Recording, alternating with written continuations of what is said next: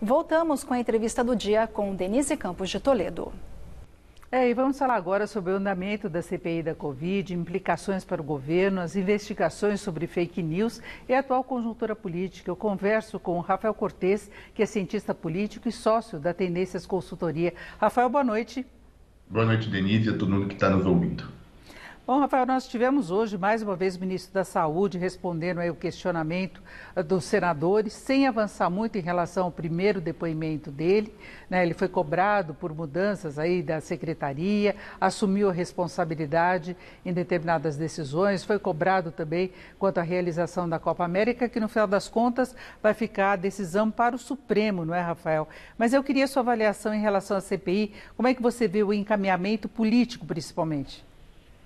Olha, acho que a CPI ela tem uma, uma característica bastante peculiar, essa CPI da, da pandemia, que basicamente o final todo mundo mais ou menos já sabe, né? Tanto o relator quanto o próprio presidente da CPI já apontam né, em linhas de investigação e muito provavelmente o resultado final vai ser de fato negativo para o governo. O que me parece que ocorre nesse momento, né, a gente já tem aí algumas semanas de depoimentos, todo mundo acompanhando com uma expectativa muito relevante, é, é tentar encontrar alguma coisa nova de fato, né, alguma linha de investigação e depoimentos que ajudem a fortalecer o que parece ser uma tese, né, não há nenhuma, nenhum constrangimento dos principais nomes da comissão já apontando para a responsabilização do governo federal, do presidente Bolsonaro, em relação à questão das vacinas e nessa tese do tal do gabinete paralelo. Então, nesse sentido, acho que hoje foi um dia,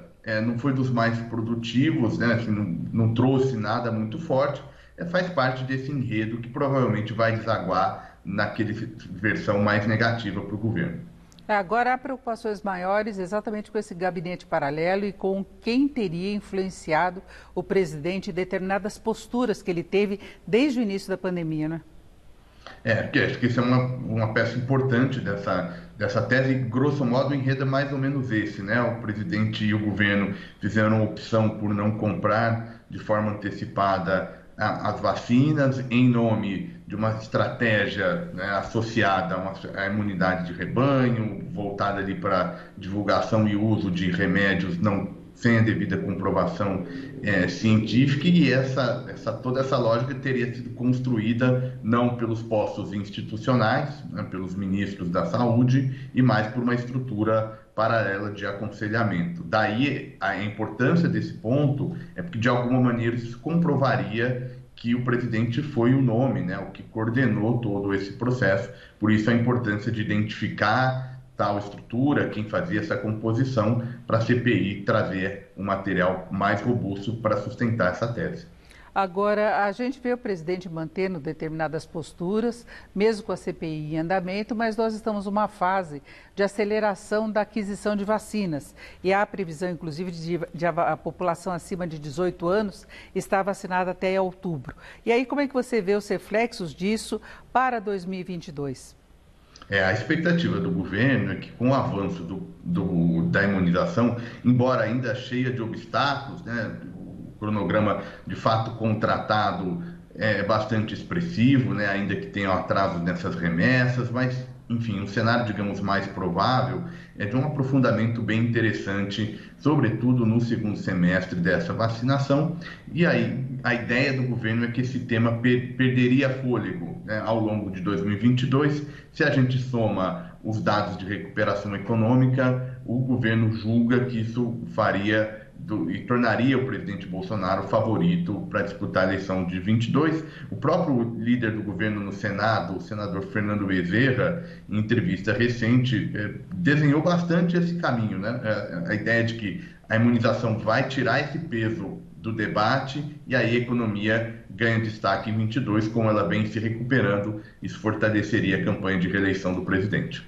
Agora, por enquanto, as pesquisas sinalizam a polarização uh, entre Bolsonaro e o ex-presidente Lula. E se tenta também buscar uma terceira via. Ciro tenta ocupar esse espaço, né? ele que teve uma presença já nas eleições anteriores. E nós temos uma parte da população que não quer nem o presidente Bolsonaro, nem o ex-presidente Lula. Você acha que esse movimento pode ganhar força? me parece pouco provável sobretudo se a gente não tiver nenhuma mudança muito significativa na percepção do eleitorado em relação ao governo, Denise. A gente basicamente tem um ótimo e bom, né, um grau de apoio ainda muito relevante, o que basicamente expressa chance muito alta do governo Bolsonaro no segundo turno, acompanhado de uma rejeição muito alta. Né. Essa rejeição muito alta tende a ser mobilizada por aquela força política que é mais identificada de oposição, que está mais distante do governo dentro do cardápio apresentado e me parece que o ex-presidente Lula é o nome natural. Você fez uma menção ao, ao Ciro Gomes e eu, eu iria além, né? Basicamente a eleição já começou. E esses primeiros sinais, em termos de discurso do Ciro, apontam que a tentativa dessa terceira via não é nem tanto mirar o PT provavelmente na figura do ex-presidente Lula, mas os eleitores descontentes com o governo Bolsonaro. Mas se não houver uma perda maior de capital político, com a economia recuperando, a vacinação se aprofundando, acho difícil essa estratégia seja que vai se tornar eficiente a ponto de colocá-lo qualquer força no segundo turno, sobretudo porque ela deve ser fragmentada, né? Tem Ciro, pode ter o Dória, pode ter o, o senador Tasso Gereissati, enfim, também esse centro deve se fragmentar. É, eu citei o Ciro Gomes porque ele tem marcado uma posição contrária do ex-presidente Lula e ele sempre teve uma identidade maior com a esquerda. Né? E a esquerda tem chamado para novas mobilizações nas ruas, já tem uma nova manifestação marcada para o dia 19, e aí Ciro não bate muito com essa ideia que se tem, embora muitas pessoas que não são de esquerda também tenham participado, não é? É, é o, o, Ciro talvez seja aquele que, nome que mais represente os desafios de construir uma terceira via. Né? O Ciro, durante muito tempo, é, andou ao, ao, lado da esquerda, né? foi associado ao grupo de esquerda, embora com uma particularidade, né? mudando muito de partido ao longo dessa trajetória. Com a entrada novamente do ex-presidente Lula na campanha, ficou inviável, né? dificilmente o Ciro conseguiria é, se articular dentro da esquerda. E aí ele faz esse movimento de tentar conversar com outro eleitorado.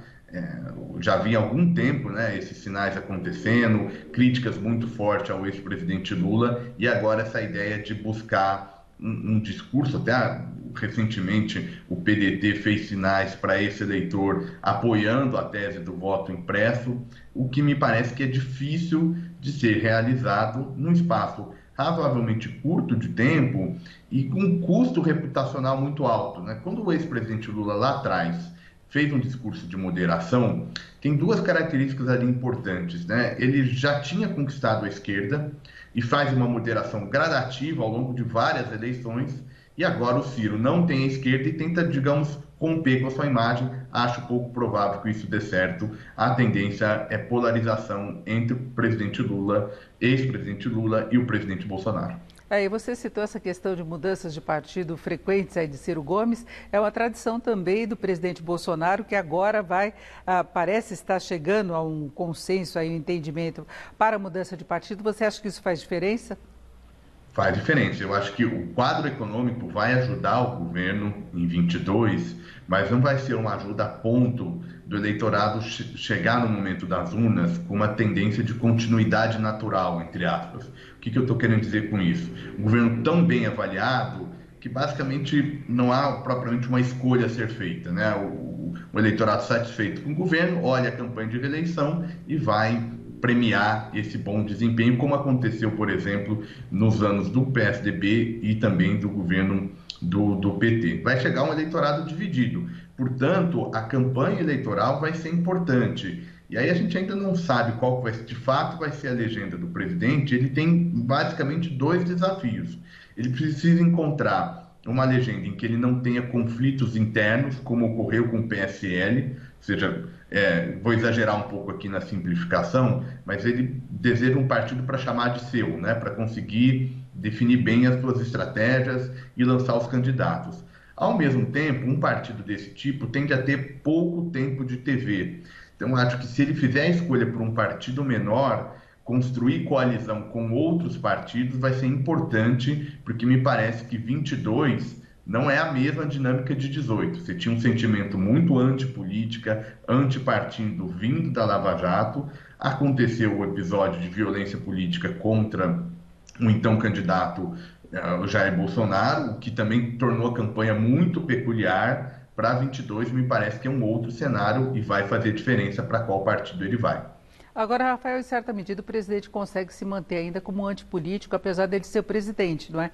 Ele questiona o sistema eleitoral, as urnas eletrônicas, ele não assume determinadas responsabilidades que se tem, inclusive, em relação à pandemia, ele transfere para os governadores a totalidade da ação de combate à pandemia, não apenas aquela questão de, de isolamento social até as vacinas ele consegue transferir. Ele faz muitas críticas né, ao Congresso, a decisões políticas, como se ele não fosse governante.